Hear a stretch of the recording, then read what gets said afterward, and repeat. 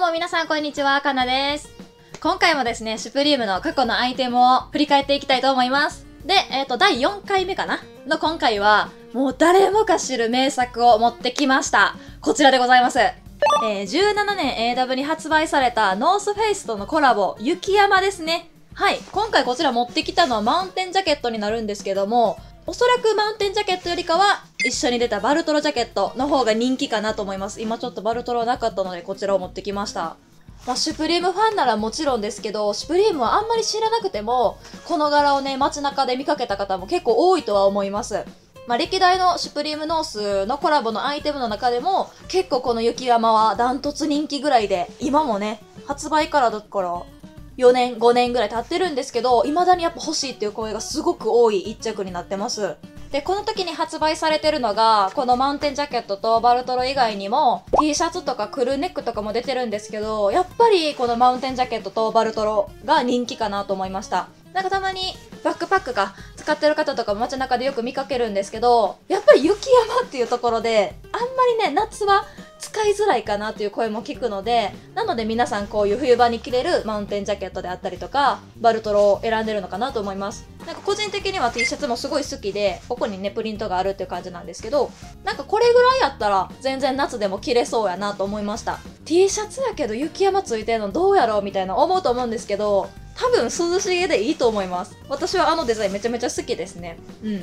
で、今ちょっと実物はご用意できなかったバルトルジャケットなんですけど、かなりボリューミーで、着丈が短めになってるので、もしこれから購入したいっていう方がいたら、えっ、と、着丈でサイズを選ぶと本当に偉いことになっちゃうので、そうやな、多分皆さんが普段着るワンサイズ下げるぐらいで全然いいと思います。まあちょっと着丈が短めにはなるので、中に着てるアイテムが裾がちょっと見えるかなっていうぐらいなので、まあ、そこも楽しんでもらえたらいいかなと思います。なんかいつものサイズで買っちゃうとほんまに肩幅すごいことになりますし、めちゃめちゃ着られてる感が出るので、バルトロに関しては小さいサイズをおすすめします。えっ、ー、とまあこれ雪山に関してなんですけども、あの多分皆さん元ネタご存知やと思います。はい、こちらでございます。アメリカのブランドでファーストダウンっていうブランドのこのモデルをサンプリングしたアイテムになってます。まあ、この雪山に関してはほとんど一緒なんですけども、あの、シュプリームに関してはこういう風にね、黒い部分がちょくちょく入ってるので、袖とかも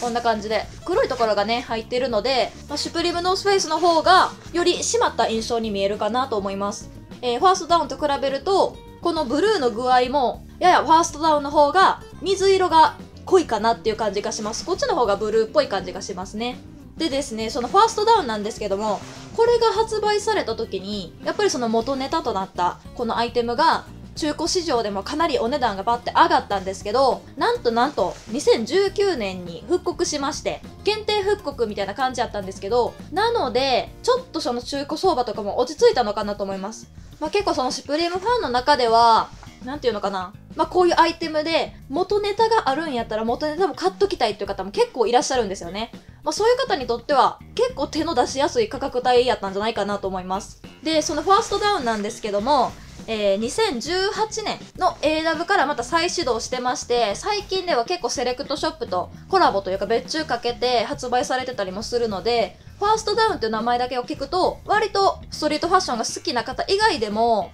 馴染みのあるブランドになってきてるのかなと思います。でですね、いろいろ調べてみたところ、この雪山以外にも、ファーストダウンを元ネタサンプリングしてるんじゃないかなっていうアイテムがあったので、ちょっとご紹介したいなと思います。こちらなんですけども、えー、16年に発売されたロゴテープパフィージャケットっていうシュプリームのアイテムなんですけども、これもですね、ファーストダウンからよく似たモデルが発売されてました。こちらでございます。これもね、90年代に発売されて、ファーストダウンの中でも特に人気が高かったアイテムらしいんですけど、すごいそっくりですよね。まあ、な、結構このデザインに関しては、まあ、いろんなブランドから出ててもおかしくないのかなっていうすごいシンプルな作りで、あんまりこう珍しくないデザインではあるんですけど、ちょっとね、私が気になったのが、フロントのポケットのところに、こういう三角形の形の金具がついてるんですよ。私これの意味がようわかんないんですけど、これがその90年代に発売されてたファーストダウンの同じようなこのデザインのね、ものもついてて、だから結構これをサンプリングした可能性は高いのかなと思いました。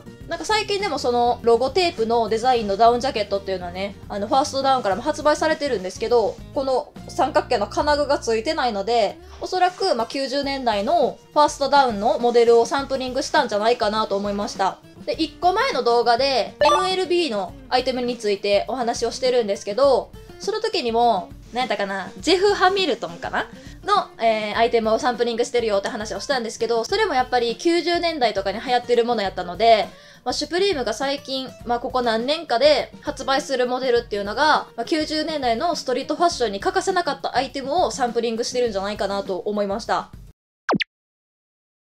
まあ、今回はもう皆さんね、これもご存知やと思うんで、軽くお話をしただけやったんですけども、まあ、これからももしかしたらその90年代とかのモデルをサンプリングして作って、それをファーストダウンが今また復刻して出すとかっていう流れも出てくるんじゃないかなと思うので、まあ、シュプリームだけじゃなくって、そのファーストダウンっていうブランドにも、ま、注目していきたいなと思いました。このアイテムに関してもかなりフェイクは多く出回ってますし、パッと見て分かりづらいのもすごく多くなってきてるので、皆さん購入される際はお気をつけください。ま、次回何をご紹介するかまだ決めてはないんですけど、なんかこういうアパレルだけじゃなくて、例えばですけど、こういうね、小物とか、多分皆さん忘れてるのも結構あるかなと思うので、まずそういうものもあればご紹介をしていこうかなと思います。ということで、今回の動画も面白かったよって方は、高評価とチャンネル登録とインスタグラムのフォローをよろしくお願いします。ではまた次回の動画でお会いしましょう。ありがとうございました。